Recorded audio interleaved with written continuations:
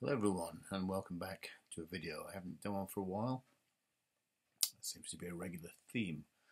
However, I thought, as soon as it's uh, Sunday, bank holiday weekend in the UK, and I have a little bit of free time while I wait for various Amazon parcels to arrive, I need a few bits to uh, finish the APET 2 case that I'm building now. Uh, well, two cases actually, and a third demo machine. Anyway, so I thought I'd um, take a little bit of time now and do a little bit of uh, an update on 8-bit stories. Just knock my mouse off. Now I've done, I've done a few edits and uh, updates on 8-bit stories. It's my first book uh, and initially I released it with a few errors and omissions which have now been updated. I have no doubt there are more, and if there are, then I will update those as well. And hopefully, we will have a very legible book at some point. Anyway, uh, I'll flick through the book and show you a few of the updates that have been done. If you haven't purchased a copy, please do. It's taken a considerable amount of time out of my life to get this done. And um, thoroughly enjoyed every minute of it, if I'm honest. Although editing and rewriting is a real pain in the neck. Anyway, so let's get on and uh, read chapter 1. Chapter 1 is Our Friends Electric. Imagine a world where a powerful computer costs just $99.95. Imagine a world where this computer is just as fast or faster than anything else currently on sale. Was it the best? Well, no. Of course not. But it was cheap, powerful, and in 1980 you could buy a 3.25 megahertz computer and take it home. Just take a moment to think about this. In 1980 you could buy a home computer and take it home for less than £100 for the first time in human history.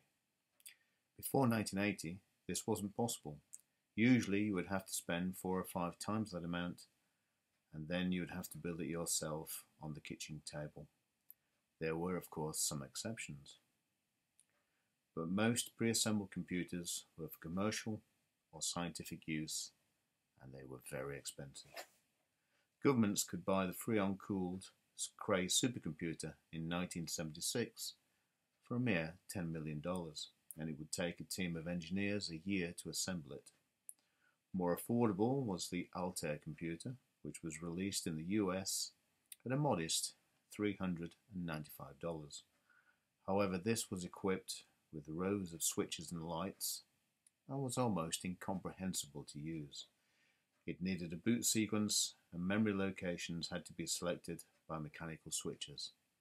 This would never catch on. What was needed was a low-cost computer that used a cheap CPU, one that would undercut Intel and Motorola. Driving prices down would be the only option to start a revolution. In 1976, Zilog and Intel introduced new microprocessors that were faster than their predecessors, and the new Intel 8080 could address a massive 64 kilobyte of memory. While the Zilog Z80 could run any program for the Intel 8080, it was both faster and cheaper. Meanwhile, the MOS 6502 was launched in San Francisco at a mere $25, far less than any comparable processor from Intel or Motorola.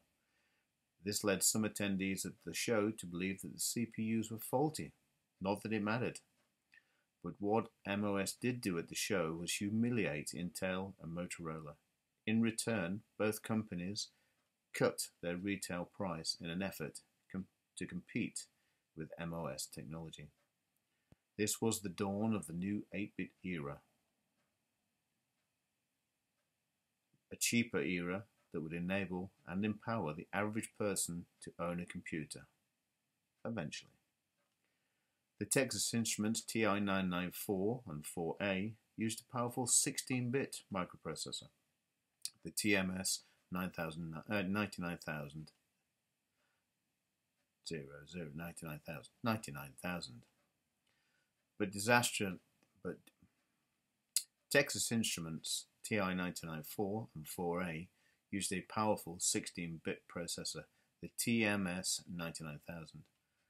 But this disastrously ended up using a slow 8-bit bus to communicate with the rest of the computer. It was originally designed to use an 8-bit CPU from Texas Instruments, but this wasn't working. So TI were forced to use the more expensive 16-bit TMS 9900, but in a crippled system. So what is an 8-bit computer or processor?